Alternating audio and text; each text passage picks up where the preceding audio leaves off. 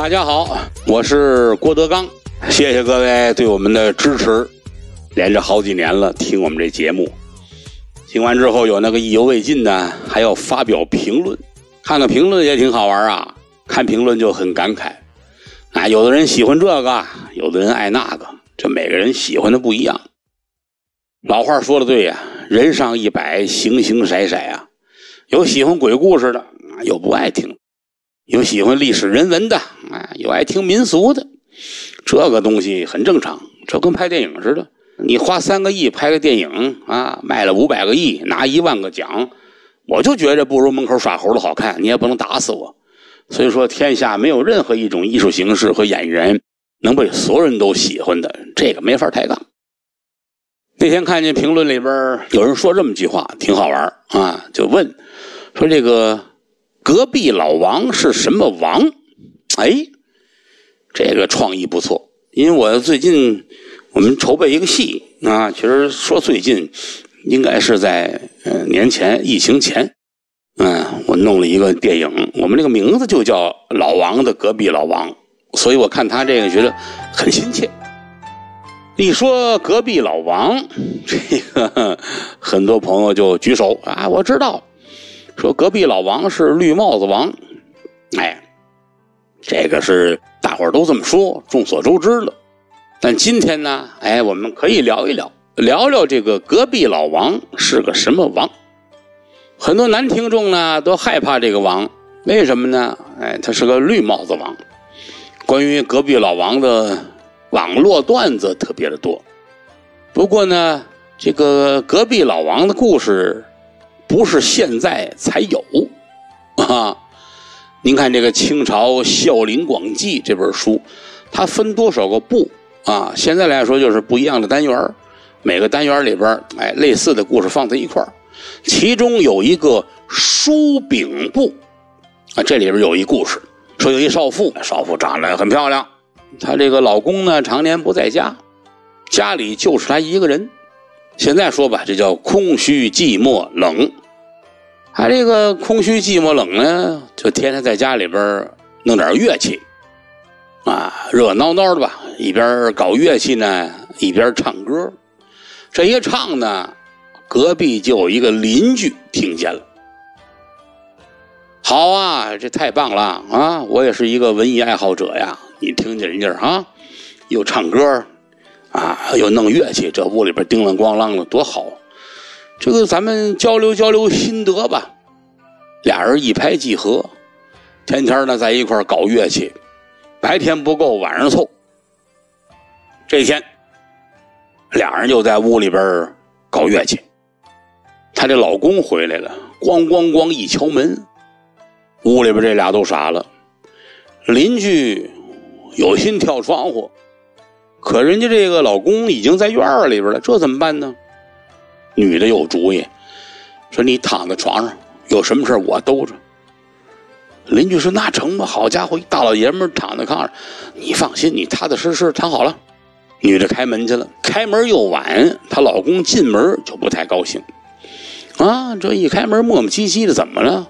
这一进屋觉得不对了，床上躺着一男的，说这怎么回事？这个媳妇一点都不慌，说你不认识他。我老公看了看，这不认识啊，这是隔壁老王啊，你忘了呀？她老公常年在外啊，想来想去，对这个邻居没什么印象。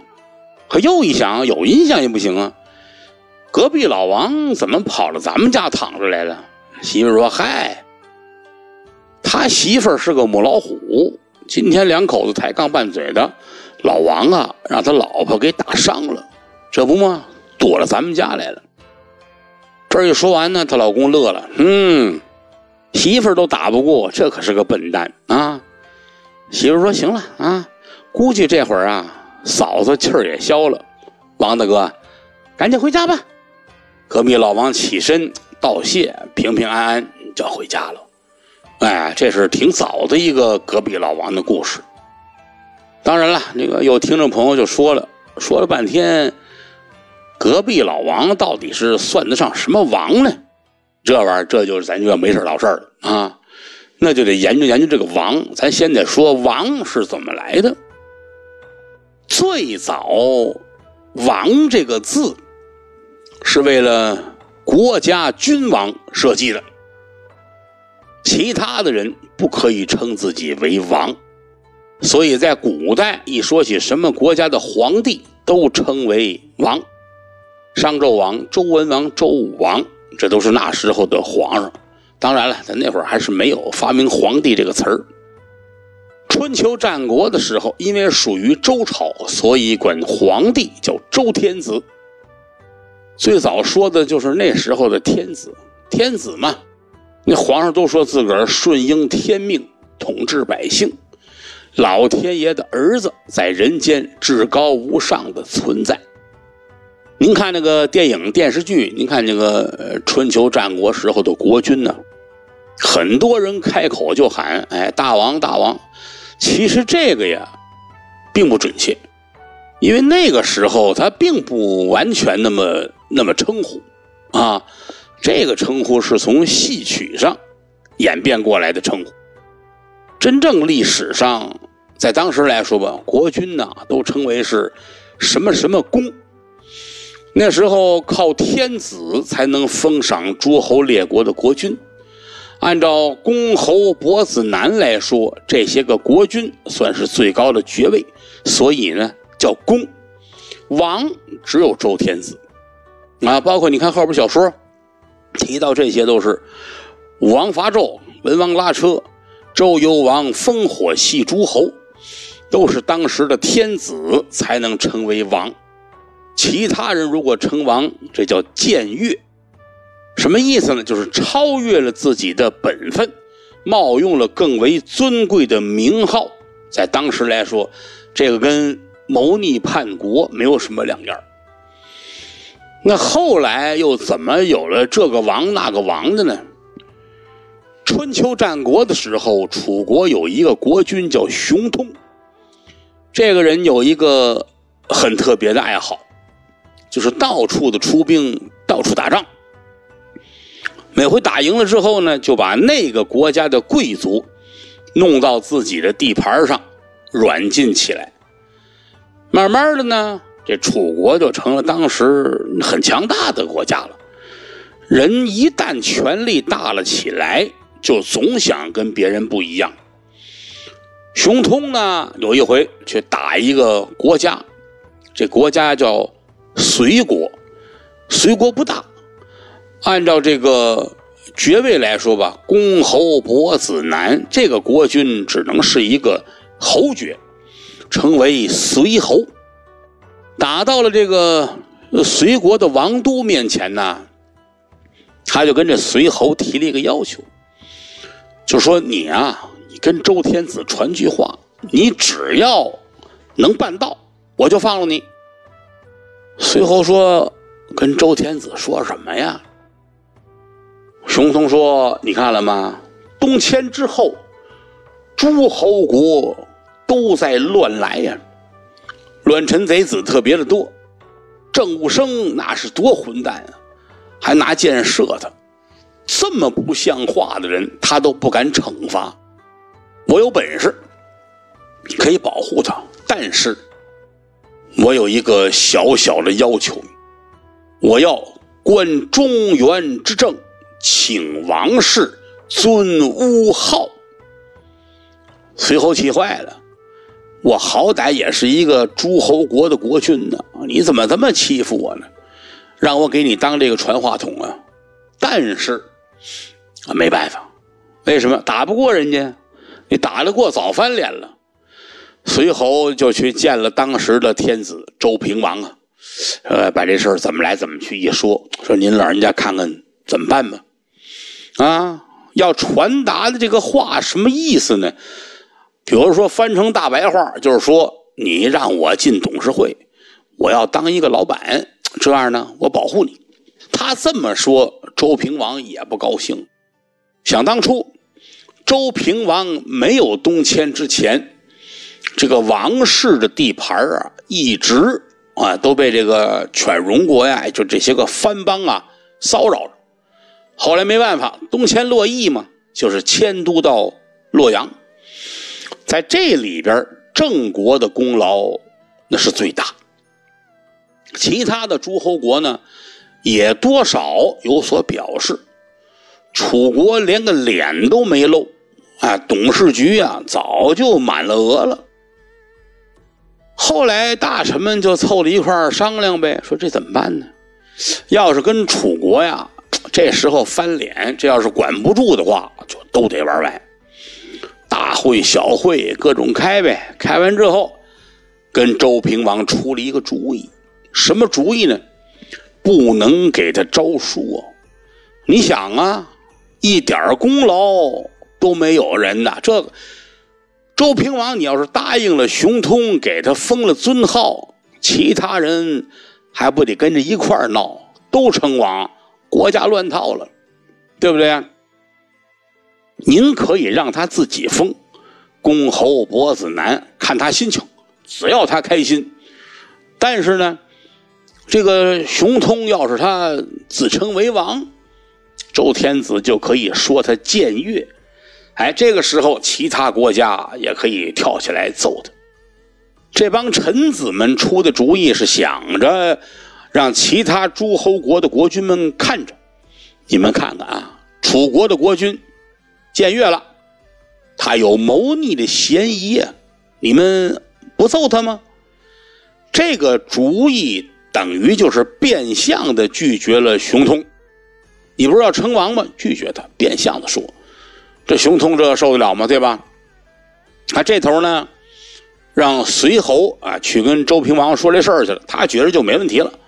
那头呢，自个儿跟家哎都准备好了，哎香案都摆得了，随时准备称王。这个随侯回来跟你说说不成，这个呃天子呀没答应。没给您告封的这个诏书，熊通一听，这不像话呀！啊，说了，王不加我，我自尊儿，什么意思？哦，你不封我呀？那我自个儿来吧。啊，熊通还是很有志气的人，给自个儿封了一个楚王。除了自封楚王啊，连这个谥号。